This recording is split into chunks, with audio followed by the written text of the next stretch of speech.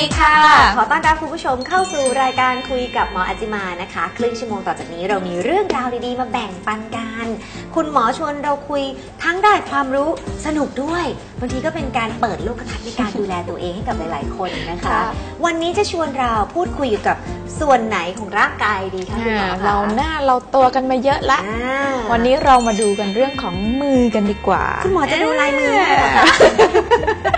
ดูเรื่องของมือ ใช่ดูสิว่ามือมันฟ้องอายุได้ว้ายเออมือฟ้องอายุ มือฟ้องอายุได้มือฟ้องอายุ เอ๊ะจะฟ้องยังไงแล้วจะมีวิธีการหลอกอายุจากมือเราหรือไม่แหมติดตามให้ดีวันนี้ค่ะน่าสนใจอีกแล้วนะคะ หมอชวนคุยช่วงที่ 1 สนับสนุนโดย ศูนย์การแพทย์เม็ดดีไซน์อัจจิมาสหคลินิก ศูนย์สุขภาพและความงาม โทร 02 954 9440ถึง1 089 900 6100วันนี้ค่ะช่วงหมอชวนคุยเราจะชวนทุกคนมาสำรวจมือตัวเองกันหน่อยนะคะ เพราะว่าคุณหมออาจิมาเนี่ยตั้งหัวข้อเอาไว้เกี่ยวกับเรื่องของมือมือฟ้องฟ้องอาอายุยุ เอะทำไมเราต้องมาดูที่มือมือมันบอกอายุได้จริงๆเหรอคะได้ เพราะจริงๆแล้วว่ามือกับหน้าเนี่ยไม่ค่อยต่างกันเยอะค่ะ เพราะว่าเป็นตำแหน่งที่เหมือนกับเรารับแสงแดดอืมใช้อืมค่อนข้างเยอะเลยทีเดียวค่ะแต่ว่าบังเอิญหน้าเนี่ยเราจะดูแลเยอะเห็นชัดกว่าอ่าแล้วเราก็ค่ะลืมดูแลมือคอก็เหมือนกันคล้าย ๆ กันค่ะสองตำแหน่งเนี้ยคนไม่ค่อยดูแลมัวแต่ไปสนใจแต่ผิวหน้าอืมแต่จริงๆแล้วการเปลี่ยนแปลงค่ะ ของผิวหน้าแล้วก็ผิวมือแขนไม่ต่างกันอื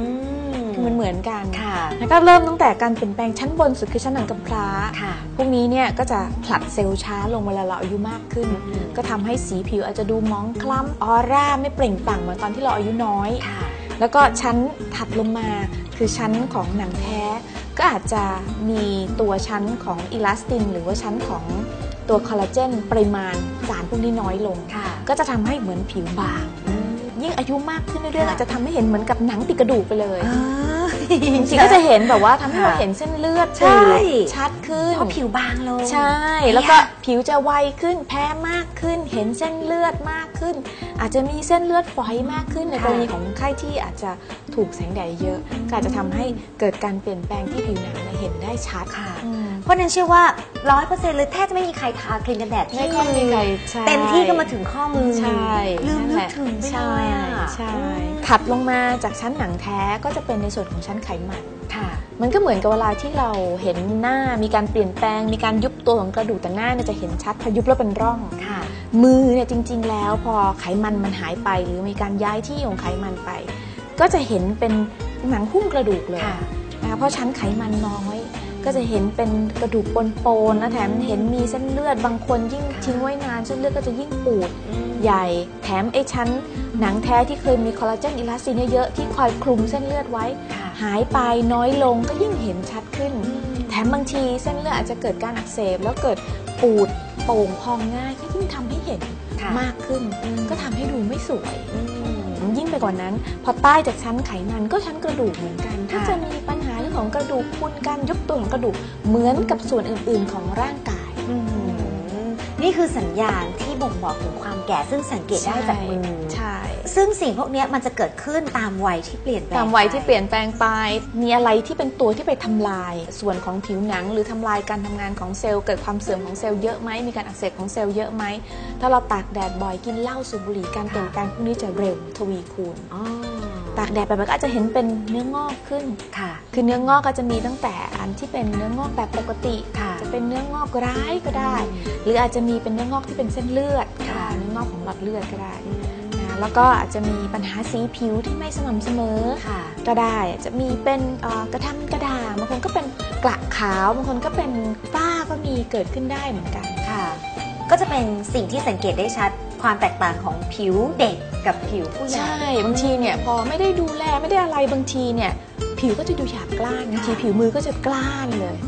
ไม่อวบอิ่มไม่นูนไม่เปล่งปลั่งเนี่ยไม่สวย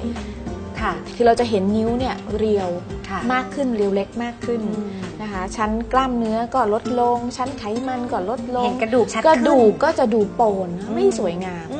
มโอ้โหฟังแล้วดูไม่ดีไม่อยากแก่เลยค่ะคุณหมอค่ะใช่โดยเฉพาะอย่างยิ่งใครที่อายุเพิ่มขึ้น แล้วก็อาจจะยังโสด มือนี่สำคัญ เพราะว่ามันจะต้องรอแหวนเพชรจากใครใช่สักคนมาจับจองเราไว้ค่ะถ้าเราไม่ดูแลไว้ให้ดี มันก็โอ้ยดูไม่ใช่ดีดูแก่ดูแย่เลยนะคะใช่ คือนอกจากการบำรุงหรือว่าการดูแลภายนอกเนี่ยมันมีการดูแลจากภายในหรือว่ามีตัวช่วยทำให้มันดูไม่แก่โอ้โหไหมคะตัวช่วยมี อืม ตัวช่วยนะมีทั้งภายนอกภายในเลย ค่ะ ถ้าตัวช่วยภายนอกเนี่ยเวลาเราดูเราก็ต้องดูว่าอ่ามันเกิดจากอะไรค่ะ ใช่ไหมคะสมมติถ้าเกิดจากเนื้องอก เราก็ใช้เอาเนื้องอกออก วิธีการก็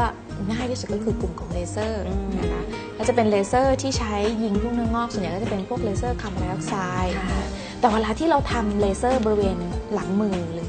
ต้องระวังให้ดี เพราะว่าโอกาสที่เกิดแผลเป็นค่อนข้างง่ายค่ะ ถ้าเป็นกลุ่มของเส้นเลือดนะถ้าเป็นเส้นเลือดฝอยๆนั่นก็ใช้เลเซอร์จำเพาะสำหรับเม็ดสียิงไปได้ค่ะแต่ถ้าเป็นผิวที่กร้านดู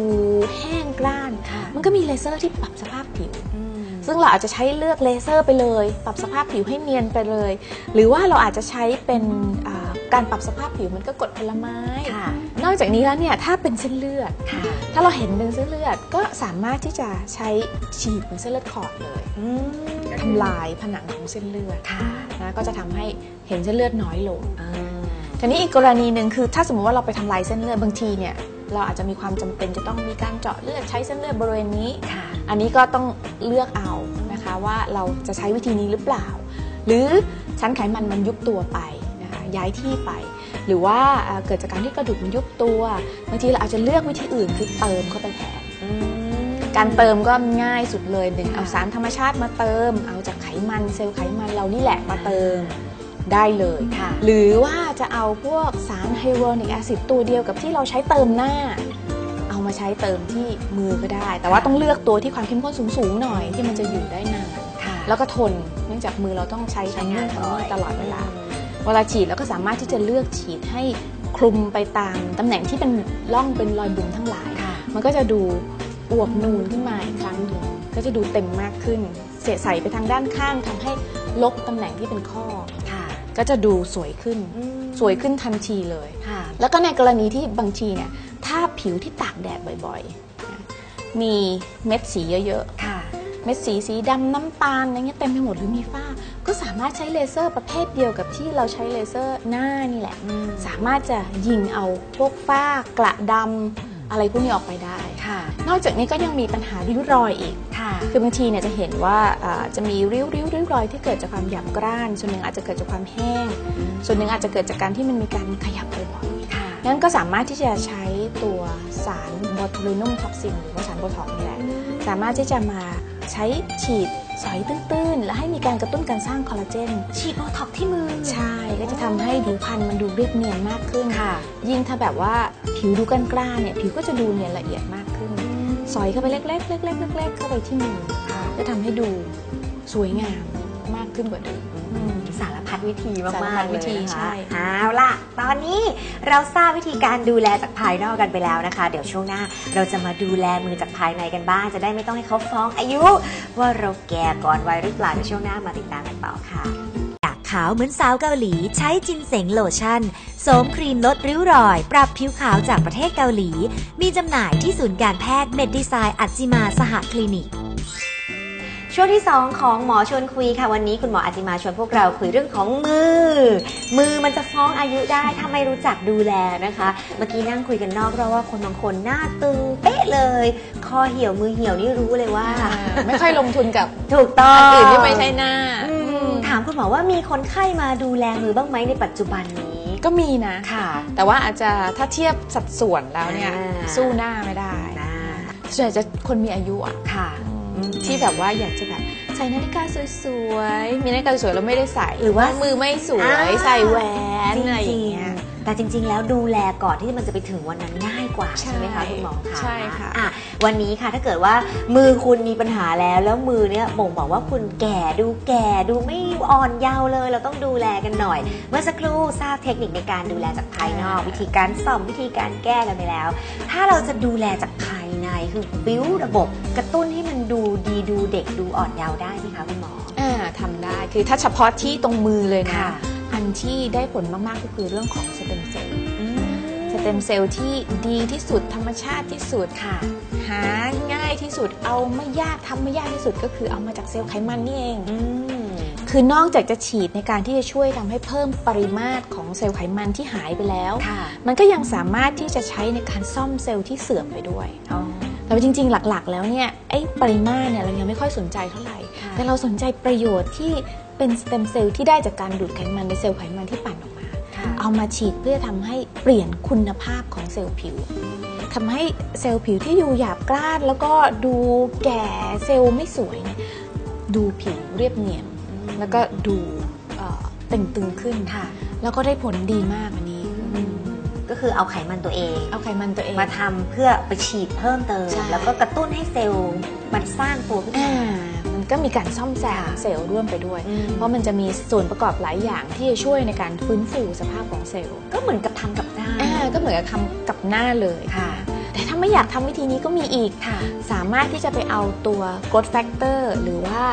ตัวสารเคมีที่อยู่ในเกล็ดเลือดของเรา เอามาใช้ได้ค่ะ อันนี้ก็ไม่ได้ยุ่งยากอะไร พอเราได้มาปุ๊บเราก็เอามาฉีดในค่ะเซลล์ผิวอืมก็จะทำให้เซลล์ผิวของเราเนี่ยดูดีขึ้นทำให้ค่ะผิวเรียบเนียนขึ้นอืม ตัว growth factor เมื่อกี้ที่เราออกมาค่ะสมมติถ้าเกิดเราไม่อยากฉีดไป แล้วเรามีผิวหยาบกร้านด้วยทำได้อีกอืมก็คืออาจจะยิงเลเซอร์ไปก่อนค่ะนะคะ ยิงเลเซอร์เพื่อที่จะช่วยทำให้ผิวเนี่ยมันเหมือนกับเปิดผิวออกไปค่ะแล้วก็เอา growth factor เนี่ยทาลงบนผิว หรืออาจจะใช้ผลักด้วยเครื่องก็ได้ค่ะที่จะทำให้ผลักสาร growth factor เนี่ยลงไปในผิวอืมหรือคนไข้คนไหนที่มีผิวที่ดูเป็นริ้วริ้วริ้วริ้วริ้ว อยากจะทำอย่างอื่นเพิ่ม ก็อาจจะใช้พวกคลื่นเสียงมาค่ะช่วยก็ได้อ๋อก็ทำให้ผิวที่เป็นริ้วริ้วยับยับเนี่ยค่ะที่เป็นผิวเกินเกินเนี่ยดูกระชับขึ้นได้ ใช้ควบคู่กันไปเลยกับตัว growth factor กับตัว stem cell เพราะว่าพวกนี้เนี่ยจะออกฤทธิ์ได้ดีเมื่อมีการทำร้ายผิวเล็กๆน้อยๆอยู่ข้างบนอื มมีการใช้กลุ่มพวกธรรมชาติบำบัดคือสารพวก homeopathy หรือสารที่เป็นกลุ่มของวิตามิน หรือสารจากธรรมชาติทั้งหมดที่มีคุณสมบัติในการซ่อมแซมเซลล์ค่ะนะคะซ่อมแซมเซลล์ผิวมันก็จะไปช่วยในการทำให้คุณภาพของเซลล์ผิวดีขึ้น ไปช่วยซ่อมนะคะช่วยเพิ่มระบบไหลเวียนมาที่เซลล์ผิวหนังแล้วก็จะช่วยทำให้มีการปรับเซลล์ผิว การทำหน้าที่ของเซลล์ผิวทำงานดีขึ้น และสามารถจะทำควบคู่กับภายนอก ได้ทุกอย่างเลยค่ะ แล้วก็ไม่เจ็บไม่มีผลข้างเคียงง่ายนะคะ เพียงแต่อาจจะมีรอยเขียวช้ำเล็กน้อยซึ่งค่ะรอยเขียวช้ำนี่ก็อยู่ไม่นาน ประมาณสัก7-10 วันเท่านั้นค่ะอือืมมจะเลือกวิธีไหนก็ขึ้นอยู่กับปัญหาของแต่ละคนใช่ด้วยใช่ไหมคะส่วนใหญ่คุณมอถ้ามีอายุปัญหาเยอะเราก็ค่ะอาจจะต้องรวมทั้งภายในภายนอกเข้าด้วยกัน แต่ถ้าอายุยังไม่มากเราอาจจะทำแต่ภายนอกอย่างเดียวค่ะ อย่างเงี้ยค่ะอะอันนี้ก็เป็นหลาย ๆ เทคนิคหลาย ๆ เทคโนโลยีที่จะมาเลือก เพื่อที่จะปรนนิบัติผิวบริเวณมือเป็นพิเศษเลยนะคะใช่ไม่ให้ดูแก่นั่นเอง อย่างมือมันมีวิธีบริหารโอ้ให้มือดูเด็กไหมคะมีค่ะอ่าเพราะว่าจริง ๆ การออกกำลังกายการบริหารเนี่ยมันเป็นตัวที่ทำให้เพิ่มระบบไหลเวียนค่ะแล้วเมื่อระบบไหลเวียนดีเซลล์ก็จะทำงานดีงั้นการบริหารมือนี่ทำไม่ยากนะเนี่ยมีวิธีทำหลายอย่างค่ะอันหนึ่งก็วางมือแบบนี้ค่ะวางมือแบบนี้แล้วก็กางออกอืม แล้วอย่างเงี้ยกางออกแค่นี้เนี่ยเหรอค่ะคะแค่นี้อ่านะคะมันก็ได้ยืดกล้ามเนื้ออ่านะคะใช่อืมหรือว่าเอ่ออาจจะใช่ทำอย่างที่คุณแนนทำนี่ค่ะกำแล้วก็กำค่ะ เหมือนเกรงนิดนึงอ่านะคะอันนี้ได้ทำบ่อยตอนซักผ้าอ่าเนาะใช่อ่ากำแล้วก็เก่งกำแล้วก็เก่งอันเนี้ยก็เป็นค่ะอีกอันหนึ่งหรืออีกอันหนึ่งก็ใช้หมุนเพื่อจะทำไม่ให้ข้อยึดนะคะาหมุ นไป แล้วก็หมุนกลับกลับอ่าอย่างนี้คุณผู้ชมใทำได้ตลอดทำได้ตลอดเวลาเวลานั่งททำงานอะไรอย่างเงี้ยอืมเวลาที่เราทำงานก็มีการขยับกล้ามเนื้อให้มันมีระบบไหลเวียนเลือดที่ำดีขึ้นเลยสบายด้วยใช่หายเมื่ยแล้วก็อีกค่ะอันหนึ่งก็จะเป็นยกอย่างนี้อ๋ออันนี้คือการบริหารมือง่ายๆเลย ค่ะ ซึ่งเราไม่เคยทำเลยตลอดชีวิตอ่านี้ใช่เนี่ยมันควรจะทำอืมหมอก็ทำบ่อยนะค่ะมันก็จะช่วยยืดทำให้กล้ามเนื้อ หรือว่าพวกข้ออะไรเงี้ยมันไม่ยึดติดระบบค่ะไหลเวียนดีขึ้น การอักเสบของเซลล์ หรือว่าการทำงานของเซลล์มันก็จะดีขึ้นค่ะนะคะการซ่อมแซมเซลล์ผิวก็จะดีขึ้นอืมแล้วก็การยุบตัวของกระดูกนะคะ หรือว่าการสลายตัวของแฟตก็จะเกิดน้อยลงค่ะ อันนี้คือเป็นหลักสำคัญของมันเลย เมื่อไหรที่มีการออกกำลังกาย กระดูกก็จะพรุนน้อยลง กระดูกยุบตัวน้อยลงค่ะกล้ามเนื้อจะแข็งแรงขึ้น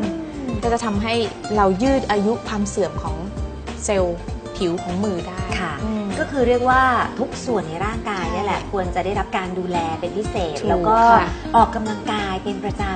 ใช่ำคือเนี่ยไม่มีใครได้สนใจหรอกว่าเราจะต้องออกกำลังกายมืออย่าออกมืออย่างเดียว ค่ะก็ต้องออกส่วนอื่นใช่ด้วย ออกกำลังกายส่วนอื่นด้วยค่ะนะคะแล้วก็รับประทานอาหารที่ดีนะก็เหมือนปกติที่เราคุยกันทุกครั้ง ค่ะ การรับประทานอาหารก็มีส่วนสำคัญ ไม่ให้เกิดการอักเสบของร่างกาย ไม่ให้เกิดการอักเสบของเซลล์ เซลล์อักเสบน้อย ความเสื่อมมันก็เกิดขึ้นน้อยค่ะหลีกเลี่ยงตัวอะไรที่จะเป็นความเสื่อมของเซลล์ให้มากขึ้น อย่างเช่น สัมผัสกับสารเคมีนะคะบ่อยอย่างเช่น อาจจะใช้น้ำยาล้างมือค่ะนะบางคนชอบล้างมือแต่กลายเป็นว่าพอล้างมือบ่อยๆมันทำให้เกิดการอักเสบของเซลล์ผิว ถูบ้าน เดี๋ยวก็อืมน้ำยาล้างห้องน้ำอ่าล้างห้องน้ค่ะ ซักผ้า ย้อมผมอ่าหมดเลยใช่หมดเลยแล้วอาจจะต้องเปลี่ยนเป็นใส่ถุงมือค่ะ ดูแลให้เหมือนกับหน้า ใช้ครีมกันแดด ใช้โลชั่นให้ความชุ่มชื้นกับผิวค่ะหรือถ้าเรามีผิวคล้ำมากก็อาจจะ